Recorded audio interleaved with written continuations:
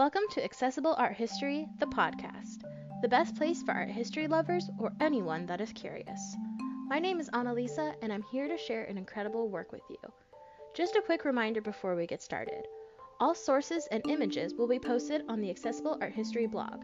You can find the link in the episode description as well as on our Instagram at accessible.art.history. Now that we have that out of the way, let's get started. For this week's episode, we are going to move north to the British Isles. On the island of Lindisfarne, off the coast of Northumbria in northern England, a beautiful codex was created by monks.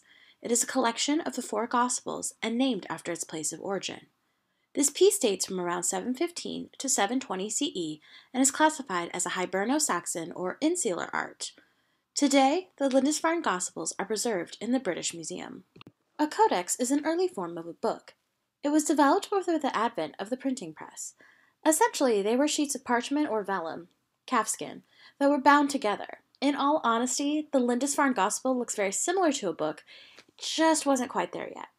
It was written in Latin, the language of the church, but in the 10th century, a monk translated it into Old English in between the lines. Besides the beautiful calligraphy, the pages are decorated with geometric shapes, flora and fauna, and portraits. At one point, it also had a beautiful jeweled cover, but it was stolen in a Viking raid. Thankfully, it was replaced by a replica in 1852. As mentioned before, the Lindisfarne Gospel was created at a monastery, but we actually know who it was made by. His name was Eadfrith, and he was the abbot and later bishop of Lindisfarne. The reason that we know he was a codex's creator is from an inscription added in the 10th century by the same monk that translated it into Old English. It reads, Eadfrith, Bishop of the Church of Lindisfarne, he, in the beginning, wrote this book for God and for St. Cuthbert, and generally for all the holy folk who are on the island. And Aethelwald, Bishop of Lindisfarne Islanders, bound and covered it without, as he well knew how to do. And Billefrith the anchorite, he forged the ornaments which are on the outside, and bedecked it with gold and with gems, and also with gilded silver, pure wealth. From this text, historians can see not only who created the Lindisfarne Gospel, but also why. It appears that Eadfrith wanted there to be a set of Gospels to commemorate the translation, or movement, of the relics of St. Cuthbert to the island.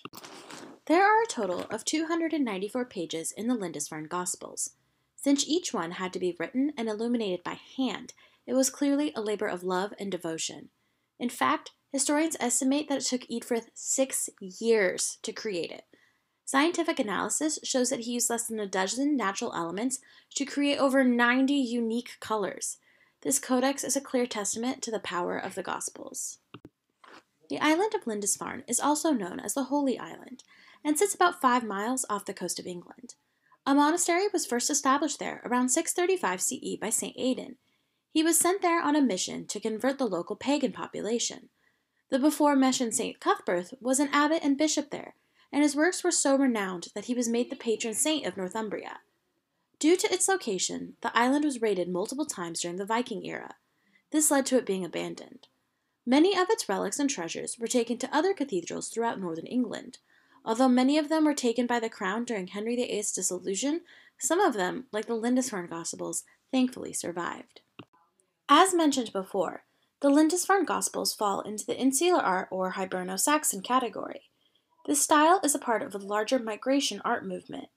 During the early medieval period, many of the pagan tribes from the European mainland moved from one area to the next, leaving settlements and new ideas in their wake. Northern England was a particular hotspot. In fact, this is where we get the name insular. It means island. When these pagan peoples mixed their art with the Christian art of the British Isles, we got this unique style.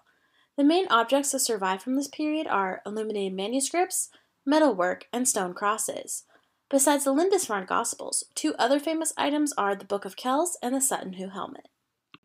In order to understand the Lindisfarne Gospels, it's important to examine Christianity during this period. On the orders of Pope Gregory the Great, missionaries first traveled to Britain in the late 5th century. There were small pockets of Christians on the island, but they tended to congregate around the former Roman centers in the south, so the missionaries focused more on the northern part of the island, like Northumbria. Although the missionaries came from the Roman Catholic Church, over the decades, differences did develop between the two branches. They weren't big enough to create a schism or an entirely new religion, but they were noteworthy to historians. Firstly, the way Easter was calculated differed. It was due to the differences between the Gregorian and the Julian calendars, so holidays were always celebrated at a different time. Second, the monks' tonsures were cut in a different style. In Rome, their hair was cut into a halo shape in order to resemble a crown. No surviving images remain of the northern style, but it seems that it involved cutting the hair from ear to ear. The third difference is that penance was almost always performed in private, unlike on the mainland where it could be performed in public depending on the sin. Finally, the idea of peregrinatio developed and was implemented heavily in the north. This was a concept of leaving one's homeland for either missionary work or as a form of penance. Thanks to these missionaries, monasticism took a hold in northern England. At these monasteries, life was enclosed and self sustaining. The goal was to lead a simple life focused on religious devotion. In addition, they served as learning centers. In an era without state run education, these communities were the closest thing to a university that a population had. Because of this, they were the only places that codices could be made. Next, I'm going to discuss illuminated manuscripts themselves, but first, let's take a quick break.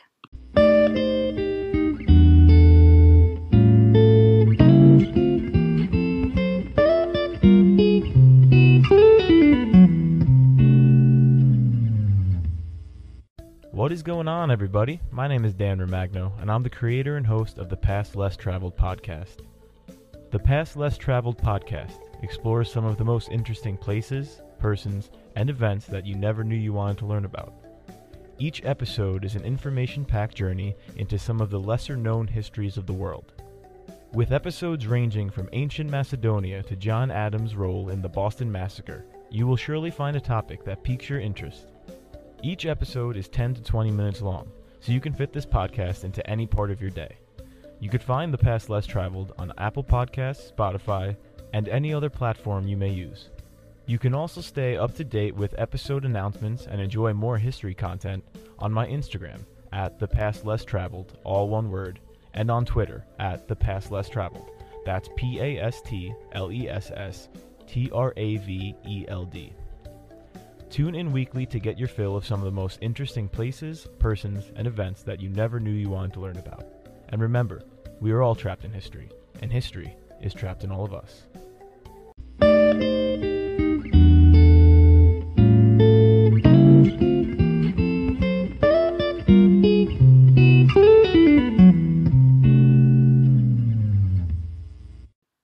All right, now that we're back, let's go over illuminated manuscripts. Although it's tempting to think of these codices as illustrated, they are actually a bit different. Illumination is more about an embellishment of a text. It was a way to glorify the Word of God. The term is almost always used to describe manuscripts of Western European origin, but it does sometimes apply to Islamic texts like the Quran. There are four styles of illuminations capitalized and decorated letters at the beginning of a sentence, border art called marginalia, carpet pages, an entire decorated page, and portraits, typically of the holy figures.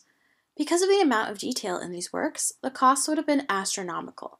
Therefore, only the rich, upper class members of society could afford them. Thankfully, many examples survive to this day. This allows art historians to understand how artistic styles, especially the unique insular style, developed during the early medieval period. The process of creating an illuminated manuscript was quite painstaking. There are numerous unfinished ones that survive, so art historians have been able to figure it out. First, the vellum or parchment was cut down to the correct size. Then, the letters and words of the Gospel, or other religious text, were written in looping calligraphy. They were written first in order to make sure the word was the focus, not the illumination. This kept them in line with the second commandment that we discussed last week. Next, any designs would be put onto a wax tablet. This would allow for any mistakes to be easily wiped away and lessen the risk of destroying the manuscript itself. The wax tablet would be placed on top of the parchment or vellum, and a sharp instrument would be poked through. Next, a monk would play connect the dots and trace the outline of the design. It would then be filled in with color and highlighted with gold and silver detail. This was a very time consuming process, but the result is absolutely stunning. It is a true testament to the devotion of the monks at Lindisfarne.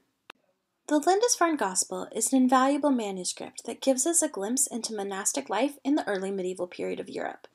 It shows us that monks were willing to devote years of their life to glorifying the Word of God that they wholeheartedly believed in. Make sure to tune in next week when I discuss the fascinating reliquary of Saint Foy.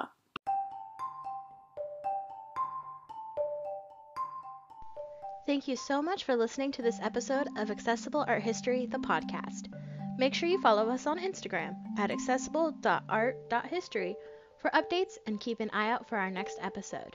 They drop every Monday on your favorite podcast platform.